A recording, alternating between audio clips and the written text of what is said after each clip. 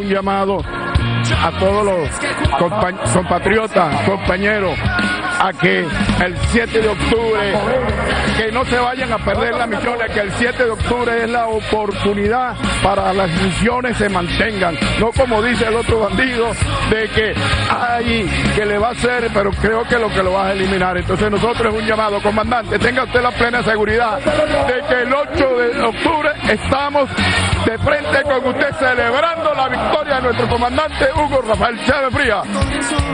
Bien, vamos a continuar escuchando la palabra de los trabajadores que se encuentran en este lugar. Buenas tardes, señor. Usted se llama Celso Indaburo. Usted también trabaja en PDVSA. Son 100.000 los trabajadores de PDVSA, una de las principales industrias de nuestro país y que sin lugar a dudas ha caído dentro de lo que es el debate político a raíz de la situación en Amuay y a raíz de lo que ha sido el discurso que ha manejado el candidato de la oposición.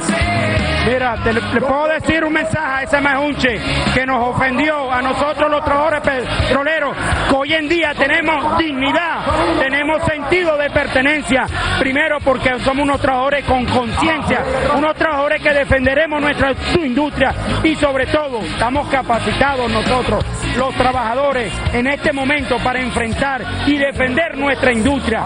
Y una cosa y un aviso a ellos, ellos nunca volverán.